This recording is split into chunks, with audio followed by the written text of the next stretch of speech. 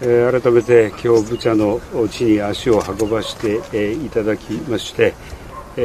こうした残虐な行為に対して強い憤りを感じます。こうした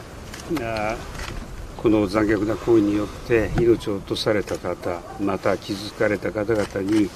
日本国民を代表して心から